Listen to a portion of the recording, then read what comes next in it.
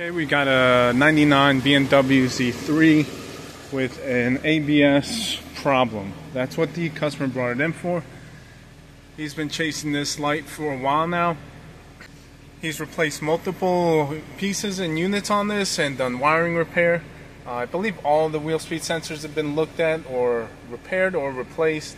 Also, the rear differential has a speed sensor that's been replaced. He's also had the module sent out, the ABS module sent out for repairs.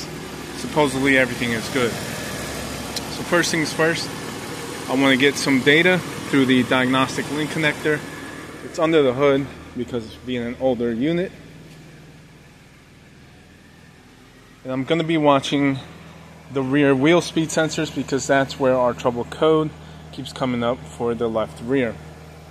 So if I spin this, it spins both rear wheels. So as you can see, the ABS module is only displaying and outputting a speed for the right rear and nothing for the left rear.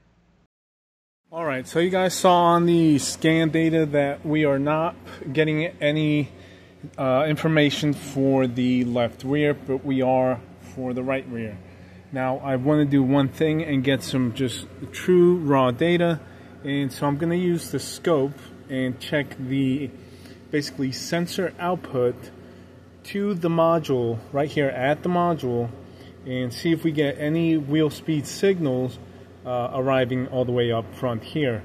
And so I've got um, that blue and brown is going to be our left rear, so our trouble one, and then the two yellows there on the right, that's going to be our right rear. So I'm going to show you the capture of both and see what we get on the scope.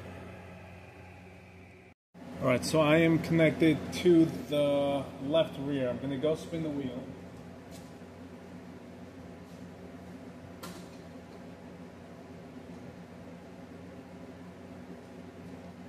And spun it and nothing comes up. So that kind of relates back to the scan data.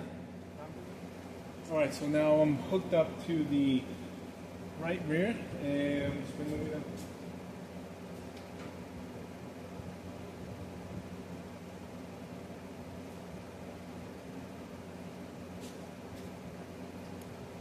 So there we go. So the right rear is giving us a speed signal. That is what the ABS computer is basically receiving and interpreting as vehicle acceleration from that corner. Now there's a couple different ways that we can go about trying to figure out exactly what cause is. But again, this gentleman has been all over this vehicle uh, doing so many things, trying so many things, uh, so on and so forth. So I think I want to try something in order to eliminate any other possibilities. And so let me get set up for that and I'll show you what I want to try. So because these sensors produce what's referred to as a sine wave, which is not a digital square wave, it's a plus and minus uh, wave that crosses their zero line. Because of that type of signal and the voltage range, I believe that I can send a signal up to the module and see if the module can interpret a signal and we'll be able to check the module, its integrity, how it interprets a signal, and we'll be able to also check the wiring all the way up to the module through the chassis and be able to see if we might just truly have something wrong with either the sensor or the pickup in the either bearing or axle on that corner. So let's see, let's go here. Signal generator, we'll go sine 2 volts signal on and then we'll start. So, right now the scope is generating a sine wave and I've got it tapped into the connector in the rear where the ABS sensor plugs in. So I'm going to send it up through the harness to up here where I'm tapped in at the module. And let's see. First, we're going to check it on the scope, see if it makes it up here. Alright, so now I am going to send the signal from the rear of the car, the connector where the ABS sensor plugs into the body harness. I've got the sensor unplugged and I've got my leads from the scope, the signal generator port on the scope. I've got that tapped into the body harness. And then the other channel I've got uh, that I'm going to tap in here at the ABS unit and see if we can pick up the signal coming all the way up.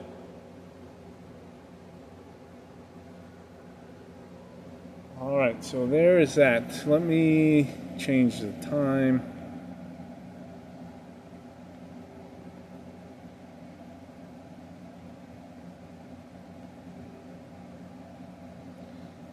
All right, so that is the signal that we're able to make with the scope, and it's a sine wave. And so I'm curious if this sine wave that we are making, so we're feeding it to my leads. Let me get you a starting point. So it's leaving from this port down to these yellow leads.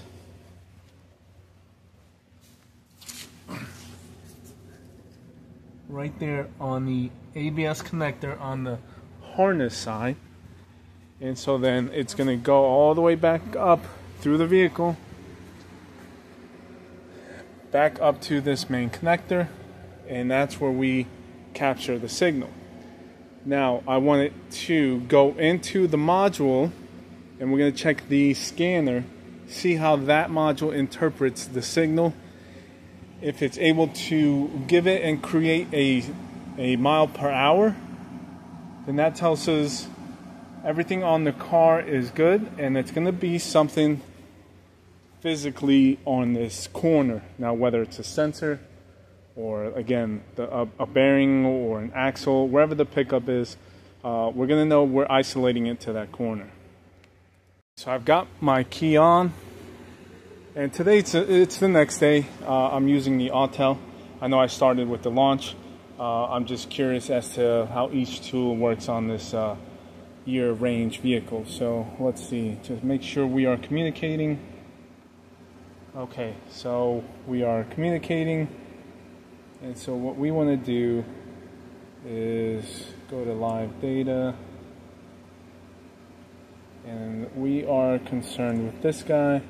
Okay, so I've got it set to graph, and right now I don't have the signal generator tapped in, but I will connect it, and let's watch this, see if we can generate a speed.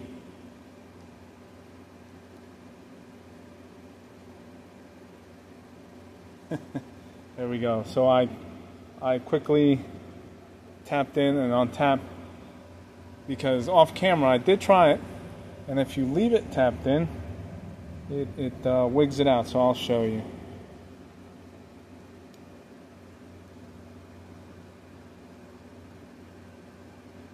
It knocks it out of communication for some reason. So let's uh, watch. We'll undo it, back out. Let's see if we can talk again. All right, we can talk.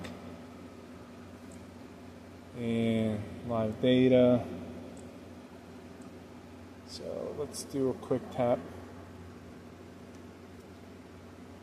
There we go. On, off. Okay, so we'll try it again. Um, I think when it wigs it out, it stops recording, so we'll do a quick tap again.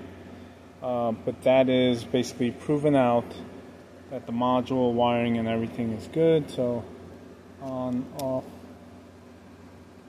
So yeah, an increase in speed input based off a signal that we are generating through the scope right there, through the car, the whole harness, everything up to the module. Module interprets it and gives us a speed signal output. All right, and so because of that, I want to, let's see, get that removed and let's install a new sensor just to try. This one looks like it was not replaced. That guy right there. So, I've got the scope running, still monitoring the same one. So, let's see if I can do this.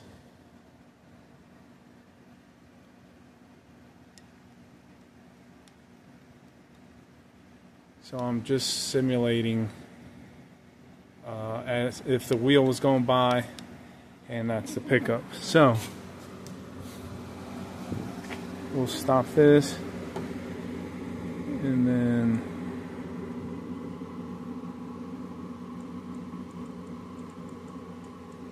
okay so if you see that and then you see that I just now confirmed again um, with the new sensor and waving the wrench in front of it.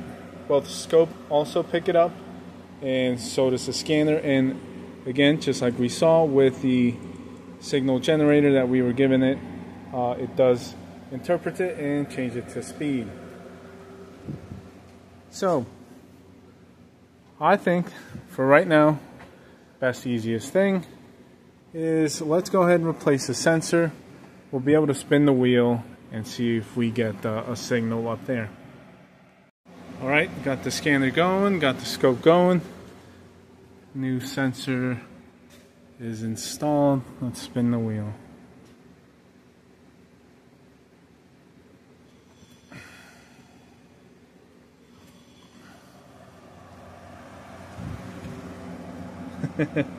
there we go.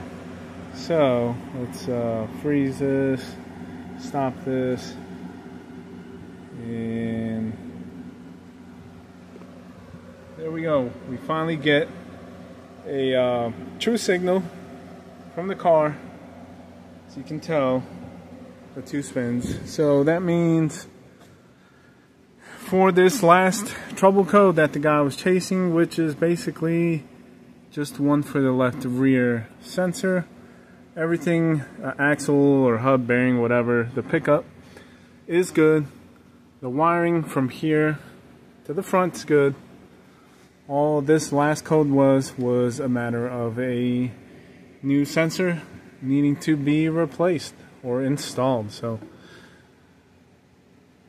that takes care of this. We'll clear the codes. We'll test drive it. Make sure it's good. All right so let's see moment of truth let's go ahead and clear everything. We're all put back together, new sensors installed. Let's see.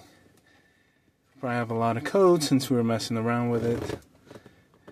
We're gonna make sure to clear all that, test drive it while watching the data, and hopefully that should be it. Alright, let me cycle the key after clearing codes.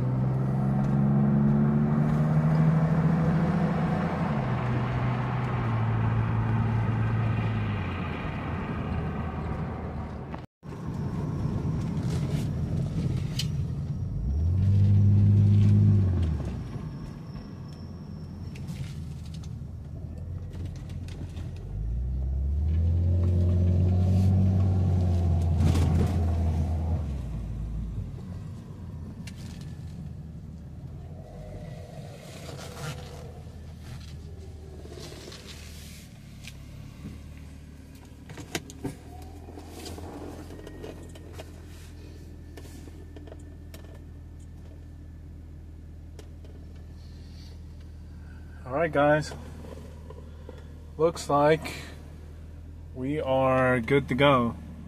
Alright guys, so no more wheel speed sensor codes, no more any lights on related to the uh, ABS system.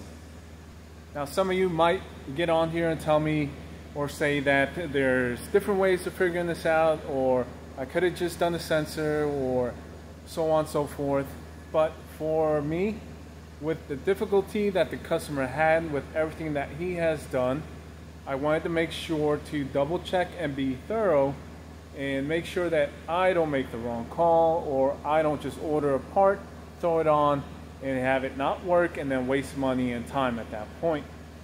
The other thing is, I wanted to educate myself, figure out a feature on the scope that I haven't used up to this point in order to prove out something on the vehicle and also prove to myself how I can use this in the future by learning how to use it in this vehicle, knowing that it could help me send a signal. If the module was good, it would interpret that, and it worked. So I've got that figured out, and hopefully you guys found that useful. So hopefully all the diag steps and everything that I did helps you guys out in the future. This applies to all speed sensors that are two wire also would work with other type sensors and it's just a matter of diagnostic process and checking certain things and getting them verified make sure that they're good. I'll get this all wrapped up let the customer know he should be happy no more lights vehicle's good and fixed so thank you for watching. Until next time that is it